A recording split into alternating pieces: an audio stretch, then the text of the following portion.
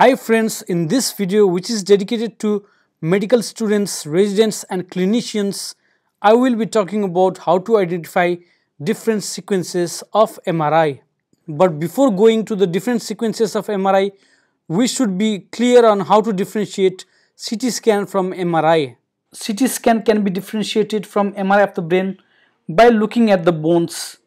Since CT scan is actually based on X-rays, which means that CT scan image forms in similar manner to the working principle of X-rays. CT scan machine is actually a large X-ray machine in itself. If you look at this image, you can see that the bones are white in the X-ray. The ribs are white, the clavicle is white, the scapula is white, but the lungs are dark. Similarly, in the CT scan, the bones are white. This is the skull bone and it appears white in the CT scan. MRI on the other hand is magnetic resonance imaging. In MRI scan the different areas of the body give different signals depending upon the sequences. For example, in a fat sensitive sequence like a T1 weighted MRI, the bone may appear slightly bright because of the presence of bone marrow which contains fat. But in a T2 weighted MRI, which is a fluid sensitive sequence, the bone appears dark but in a CT scan the bones are very very white which helps you differentiate it from MRI scan. In MRI we use signal intensities to evaluate images. A very bright object is said to be of very high signal and a dark object is said to be of low signal. The signal intensity is compared with the adjacent structures like in the brain we can compare with the brain parenchyma. Like in this case, we can compare the signal intensity of this lesion with the adjacent brain parenchyma. In the musculoskeletal system, we compare the signal intensity of the lesions with the muscles. In this image, this lesion appears darker compared to the brain in the first sequence and is brighter compared to the brain in the second sequence. In radiological language, it is said to be of low signal intensity in the first sequence and of high signal intensity in the second sequence. Various combinations of signal intensities of lesions in various sequences of MRI helps us to make a diagnosis. Welcome to Radio Clinics.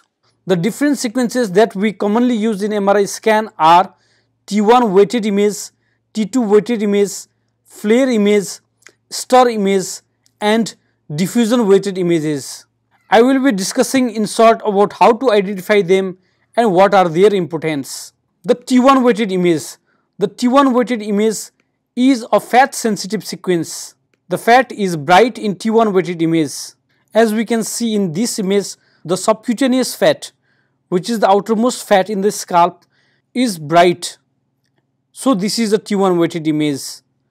Besides this, we can also appreciate the retroorbital fat is also bright in this image. This is a sagittal section of the brain and we can appreciate that the posterior pituitary is appearing bright here. This is the sella turcica and we can see that this bright structure is the posterior pituitary gland. Though the posterior pituitary gland does not contain fat but it contains neurophysin which has high protein content so it is appearing bright. Besides this, things that are bright in T1 are subacute hemorrhage, melanin, MRI contrast media or gadolinium. This is a T1 weighted image and we can see that the retroorbital fat is appearing very bright. The subcutaneous fat is also appearing bright. We can also appreciate an area of high signal intensity in the right posterior temporal lobe. This lesion is an intraparenchymal hemorrhage. Other causes of hemorrhage in the brain parenchyma like hemorrhagic metastasis may also appear bright on T1 weighted image. Hemorrhagic metastasis means those metastases that tend to undergo hemorrhage and they are seen in cases of lung carcinoma, choriocarcinoma, renal cell carcinoma. Fluid on the other hand is dark on T1 weighted image we can see that fluid within the ventricles, fluid in the sulci and fluid within the cisterns, they are appearing dark in T1 weighted image. The T2 weighted image can be remembered as a fluid sensitive sequence. Fluid is bright in T2 and this is the most reliable finding. In this image we can see that the fluid in the ventricles, the fluid in the sulci, they are of high signal intensities. We can also appreciate that the fluid in the globes are also of high signal intensities. So this is a T2 weighted image. In this image, we can see that the spinal canal is appearing as bright signal intensity here. So this is a T2 weighted image, while the spinal canal containing the CSF is appearing dark signal intensity here. So this is a T1 weighted image because T2 weighted image is a fluid sensitive sequence. Besides this, we can also see that the intervertebral discs here appear as bright signal intensity on T2 weighted image and they appear as dark signal intensity on T1 weighted image. This is because these intervertebral discs contains glycosaminoglycans and glycosaminoglycans have high fluid content. The next important sequence is FLAIR. FLAIR means fluid attenuation inversion recovery. From its name, it means that the fluid is attenuated. That means the fluid is suppressed. FLAIR is usually based on T2 weighted image. We know that T2 weighted image is a fluid sensitive sequence, but the fluid is suppressed in T2 to get a FLAIR image. This is done so that we can evaluate the things that are in periventricular locations. Here the fluid in the ventricles appear bright. If there were any lesion adjacent to the ventricles here, it would be very difficult to localize the lesion and to characterize the lesion because the high signal intensity in the ventricles will mask the signal of the lesion. The lesions in the brain parenchyma and adjacent to the ventricles they appear quite bright in phase sequence because the free fluid in the CSF spaces within the ventricles, within the sulci and within the cisterns are suppressed in FLAIR images. This is a FLAIR image. We can see in this case it is very difficult to evaluate the lesions around the ventricles because they are masked by the eye signal from the ventricles. This is a T2 weighted image. But in this FLAIR image, we can see that the lesions around the ventricles are easily visualized because the eye signal in the ventricles are masked. This is a case of multiple sclerosis and for this kind of diagnosis, we need a FLAIR image. FLAIR and T1 may appear similar to each other because fluid is suppressed and the ventricles appear dark in both of them. To differentiate FLAIR from T1, we should look at the gray and white matter. In T1, because of the presence of fat in myelin of white matter, it appears bright. But in FLAIR, which is based upon T2 weighted image, white matter appears darker than gray matter like a T2 weighted image. In these two images, we can see that the ventricles appear dark and it might be confusing whether this is a FLAIR image or a T1 weighted image for this, we should look at the gray and white matter. In a T1 weighted image, the white matter appears brighter like here. This is the white matter of the brain parenchyma and it appears brighter than the gray matter. While in the FLAIR image which is based upon a T2 weighted image, the white matter appears darker than a gray matter. If you are confused in between differentiating gray and white matter, you should check out my video on CT anatomy of the brain. Another important sequence is the STIR image. It is a fat suppressed sequence. Full form of STIR is short tau inversion recovery. Other similar sequences are SPIR, SPAIR and Dixon. This sequence is used to suppress fat. Fat is suppressed so that things that contain fluid like pathologies appear bright. This is used in MRI of the spine extremities to suppress marrow fat. Adult bone marrow contains fat and this may mask pathologies. But when fat is suppressed, the fluid in the pathology appears bright. So this helps in clear delineation of the pathologies in the marrow. This is a T2 weighted image because the CSF area within the spinal canal is appearing bright. In this image however, we can see that the subcutaneous fat is appearing dark. The bone marrow is also appearing dark compared to the other image. So this is a fat suppressed image.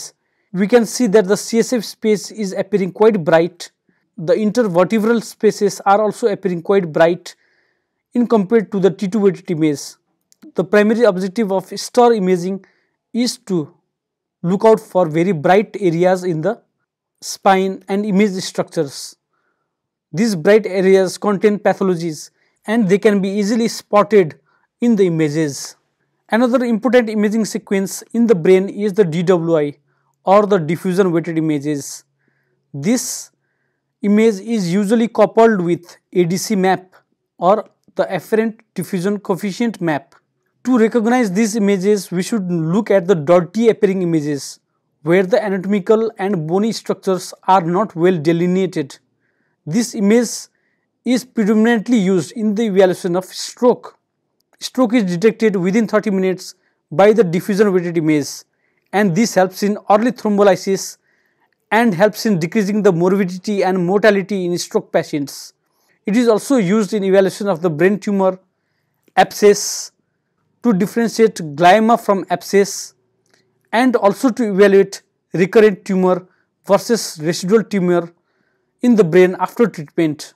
As I discussed earlier, diffusion weighted images are the dirty appearing images and we can see that the bones are not well seen in the diffusion weighted images.